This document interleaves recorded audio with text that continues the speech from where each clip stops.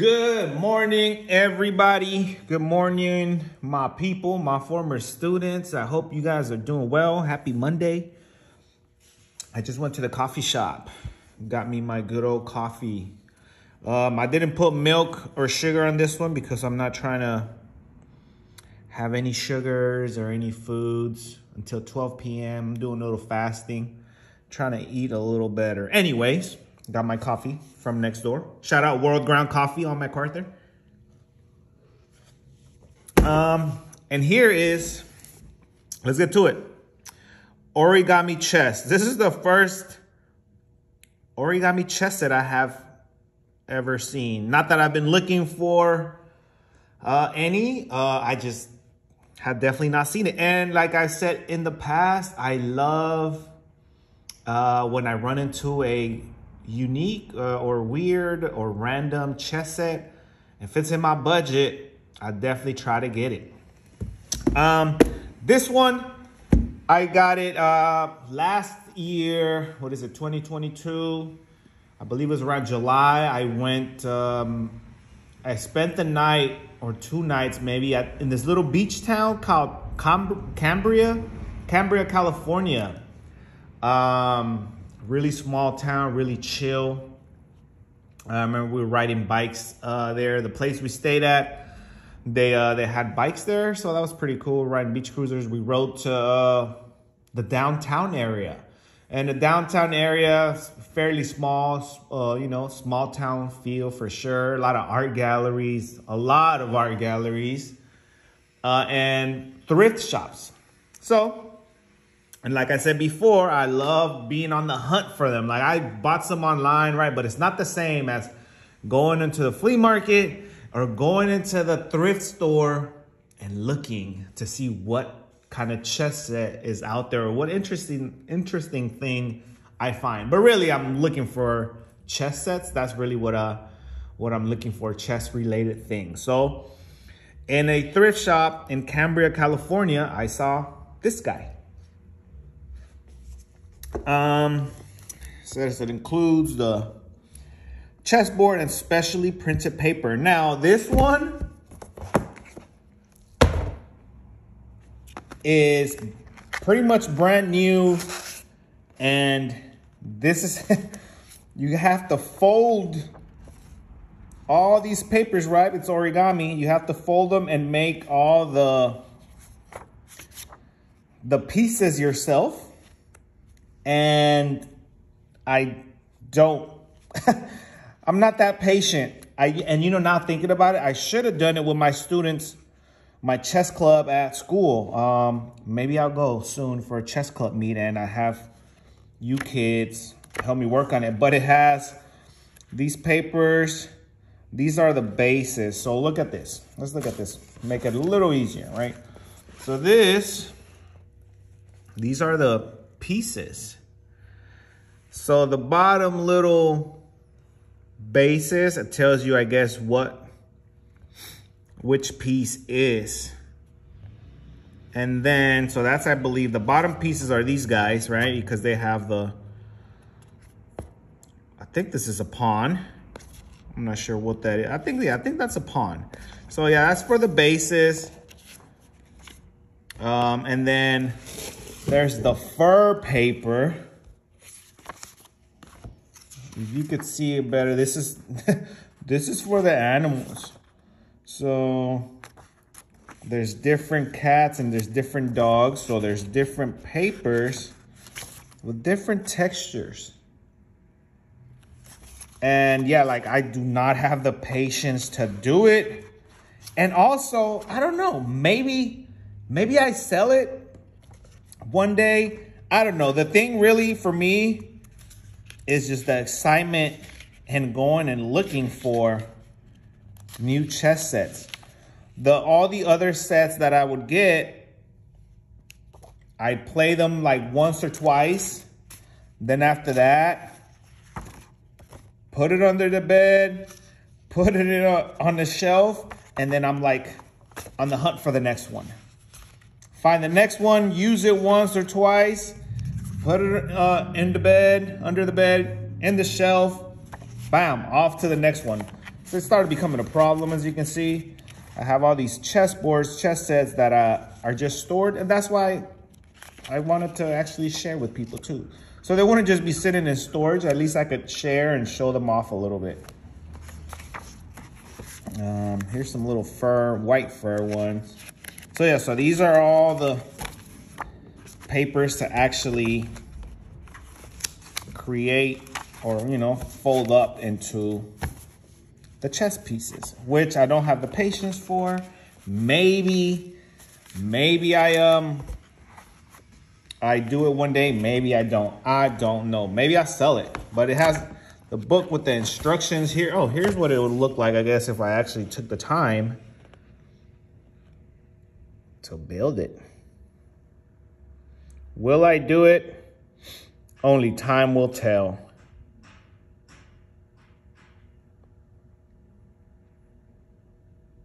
Take a look at the pieces. On the right side, we have the cats. The left side, we have the dogs. It looks like the cats are the ones on white and the dogs are the ones on the black. What do you guys think? Should I should I fold? Should I build it? Should I have the kids help me, my nephews, or should I just maybe try to sell it? I think I paid I think I paid $30 for this. So I thought it was it was all right. It wasn't too bad. Oh, here we go. Look at this. Meet the players. This is telling you how to fold these guys. Uh-huh. The pawn. The dots dachshund. I'm not uh dachshund. Weenie dog. There you go. How about that? The weenie dog is the pawn. Sorry, I couldn't pronounce that. That's the weenie dog pawn. For the cats, the Persian kitty is their pawn.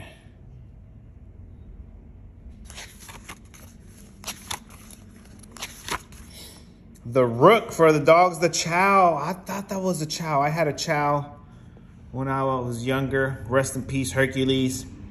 He'd always be getting into a fight. Oh man, Hercules, Hercules. Rest in peace, buddy. Okay. Nor Norwegian forest cat is the rook. On the cat side, I don't know, these things seem kind of tricky. I don't have the patience to build these guys. Yeah, I'll definitely, if I build it, I'll definitely have the kids build it. I don't know.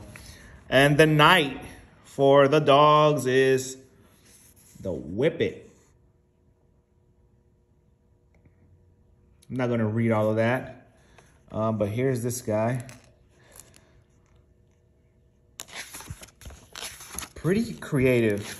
Whoever like invented this, how to fold all this stuff is, man, respect. Um, the knight for the cats is the American short hair cat. Here he is. Have you guys ever seen an origami chess set? Leave it in the comments. Let me know what I should do with this too. I'd love to hear feedback from you guys. The bishop on the dog side is the beagle. And pretty cute, pretty cute dog.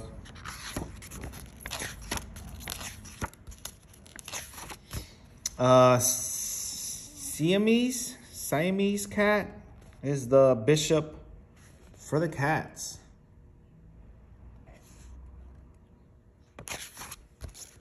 All right, what else do we have? What else do we have? The queen on the dogs is, uh, what is it? Weem? Weimaraner? I hope I said that right. Weimaraner.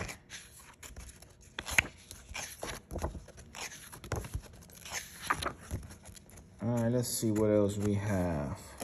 The queen for the cats. Let's see. Turkish Angora.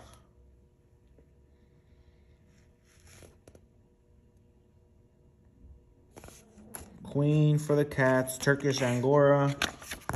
All right, so I guess the king is coming up. Let's see what the king is looking like. Ah, German Shepherd, king for the dogs. Oh, this one. See, now this one, the origami itself really, really looks like the actual animal that it's representing. Some of the other ones didn't quite look like it. This one really does.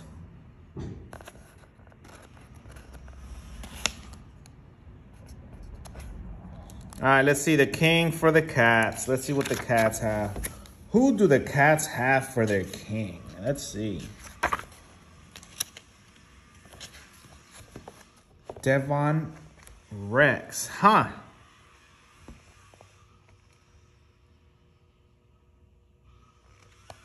You guys maybe could pause it if you guys want to read. I don't know. I probably should have left time.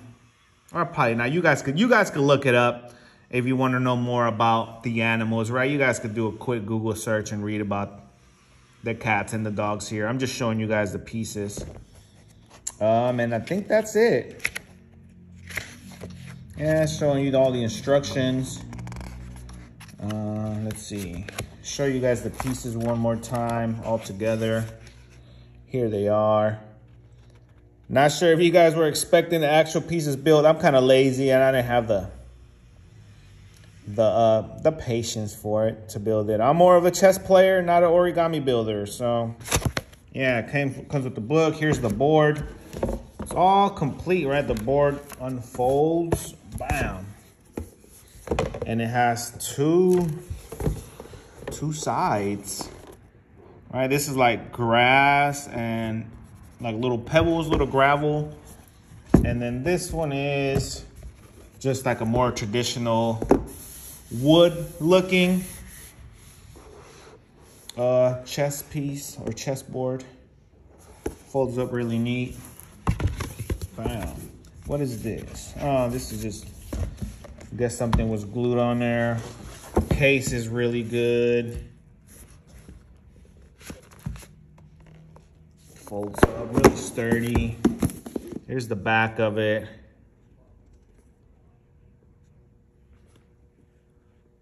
the pieces on it.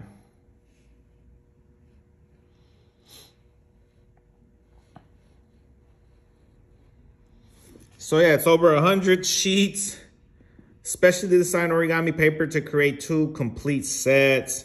112 page illustrated book. That's the one I was flipping through with the instructions and information on the animals. Uh, it says combine the ancient game of chess with the ancient Japanese art of origami and add a whole new twist by putting the felines against the canines in a unique chess set. Detailed folding instructions are provided for models representing six different breeds of cats and six different breeds of dogs. Two-sided chessboard, traditional board on one side, outdoor version with grass and sand on the reverse. Made in China, uh, what is it? ThunderBayBooks.com. Uh, imprint of the Baker and Taylor Publishing Company or Publishing Group in San Diego, California. I was looking for a date. Um, I don't see a date. Let's see. Let's see there's a date in here somewhere. Don't see it. Let's see what the book. The book should have a date. Let's see, book. When were you printed?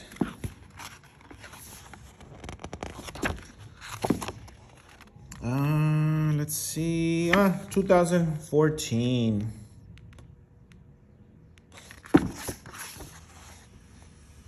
And it has some information, a little history on chess.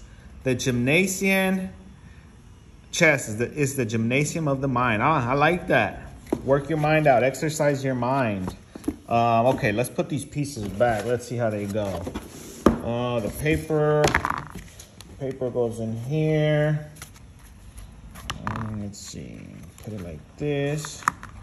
This little section, nice and neat. And everything is nice and neat. Nothing is really um, wrinkled or anything. Let's put these guys here. Nothing's folded. Put the book back in here. You know what? Let's put it like this. Flip it upside down. And that way, when I put it in the box, it's visible. Bam, there it is. Thank you guys for watching. Let me know what you think. Let me know if you've seen something like this before. Uh, should I sell it? Should I build it? Uh, please, yeah, share your comments. Thank you. Until the next one.